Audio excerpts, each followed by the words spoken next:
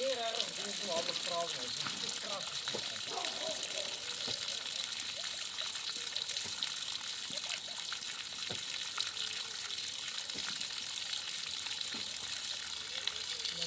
Daar is het wel begraven.